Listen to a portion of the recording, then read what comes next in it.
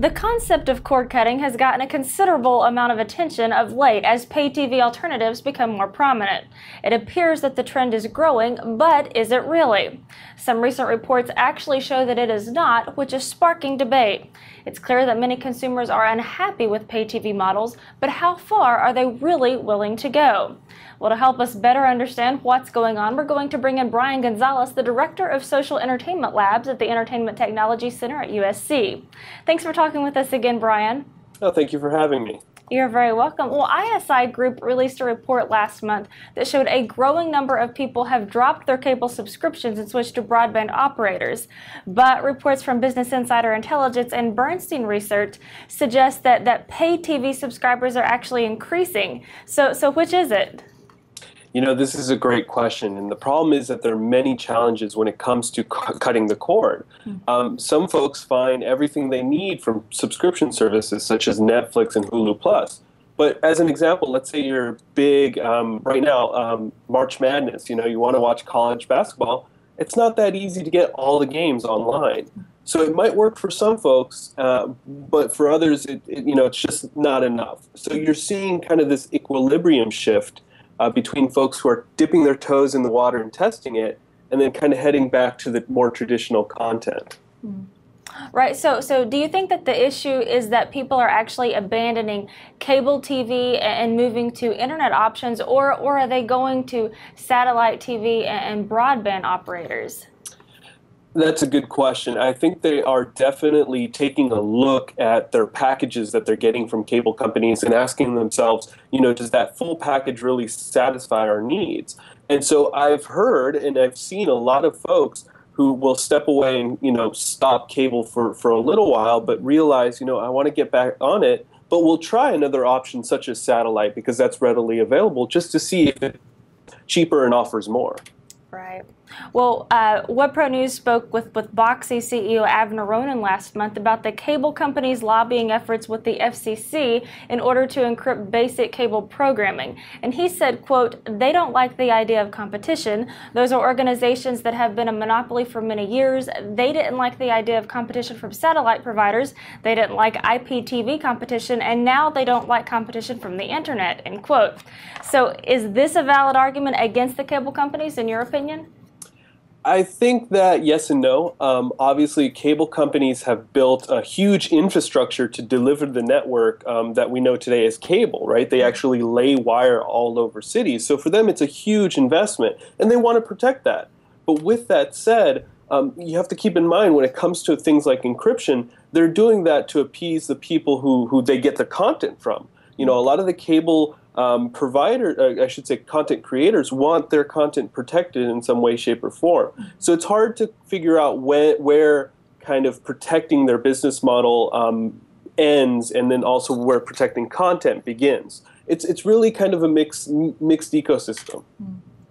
Right. Well, in a response uh, to, to some consumer complaints, Time Warner CEO recently laid out an option for, for a low cost package of channels.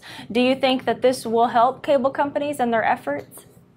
Honestly, I do. Uh, and the reason for that is a lot of people see things like Hulu Plus at less than $10 a month and think that's very appealing.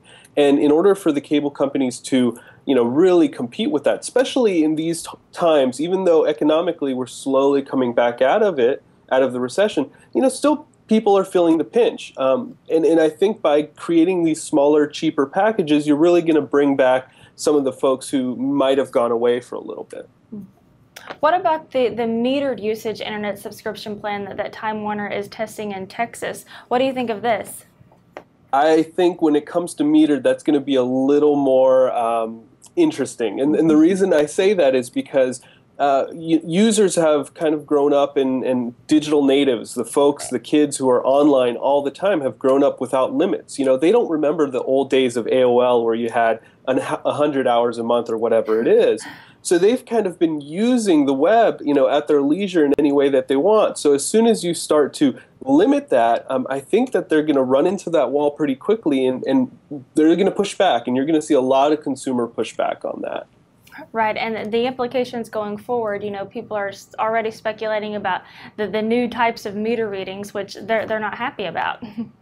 Yeah, absolutely. And a great example, um, the iPad 3 just came out, and one of the things that people need to think about is it has a, a, a more dense display, so you can do 1080p video, which is great. However, 1080p video means larger file sizes, right? And, and if you want higher quality video, you're going to need more bandwidth and more you know, if that cap does exist, that cap has to be pretty big in order to allow for all this rich multimedia content into the home. Mm-hmm. Well, also, in, in, terms of the news of, of, Comcast rejecting Netflix's offer to partner, were you surprised by this? I was a little surprised. Um, it's going to be interesting to see how Netflix positions itself because for a long time Netflix saw themselves as the alternative, an alternative place where to get your content. However, they found it really hard to get you know up to the date new content because uh, content creators want to keep that with the cable companies um, and, and, monetize it as much as possible. So it's going to be really interesting. Um, it, I'm glad that Netflix is attempting to um, you know figure that out, but it's going to be really tough for them to partner with a Comcast or Verizon FiOS because they're going to have their own offerings that they want to brand themselves. Right, and it's sort of a, uh, you know, the cable companies are, are, are not extremely happy with, with companies such as Netflix because they feel like that the reason they're dealing with these issues are because uh, of these companies. Yeah, absolutely. So on one hand, it's positive for the consumer because right. it's causing Comcast and a lot of these companies to, you know, offer better things such as TV everywhere. I think before Netflix, Comcast, and Time Warner would have never offered that or thought about that. And so that's a positive for consumers. Um, but for cable providers, it's really a challenge of we have this huge infrastructure, we spent a lot of money. Um, you know, how do we keep our user base so that we can continue providing as much content in a single package as possible? Mm-hmm. Well, interestingly, in spite of all this talk about cable TV dying, Nielsen told Business Insider that, that cable TV is actually expected to make more money than network TV this year. So, how ironic is this? It is, and I think what we or what a lot of people tend to forget is that 90% of uh, Americans that watch TV are cable subscribers, right? So a large chunk of it, cable or satellite subscribers. So a large chunk of them are already on that bandwagon. I think, though, what you're starting to see again goes back to because Netflix doesn't offer, let's say, the latest TV shows, and Hulu Plus for some shows has an eight-day window. You know, people are returning to cable or really looking to cable as you know, getting their content, you know, as fresh and new as possible. Mm-hmm. Well, are internet streaming video services the, the way of the future? And do you think that traditional TV models are dying I think that definitely internet videos are the way of the future, but the biggest hurdle is bandwidth. I mean, you look at the average American household, they're looking at about five megabits per second. That's not very much, especially when you factor in, you know, large families. So a family of four, a mom, dad, and, and kids, if mom and dad are enjoying, you know, Hulu Plus on a big screen, and then the kids are doing YouTube and Skyping and a mm-hmm. bunch of mm-hmm. other things, all of a sudden that bandwidth gets reduced to nothing. And I think that's a big hurdle. So in the short term, I think cable and satellite and broadcast are still very, you know, the best way, uh, most effective way, and efficient way to distribute video. However, I see the future more as a hybrid. So you're going to still have, you know, live events on cable and TV are still going to be huge. But when it comes to maybe drama or scripted, you're going to have it on live, but it, it's going to be available in a package of somehow, you know, right after it shows live, and it will be seamless and easy to use. All right. Well, it's definitely an interesting debate, and your insights are, are very helpful. Bryan, thank you so much. Uh, thank you. You're very welcome. With this WebProNews Report, I'm Abby Johnson.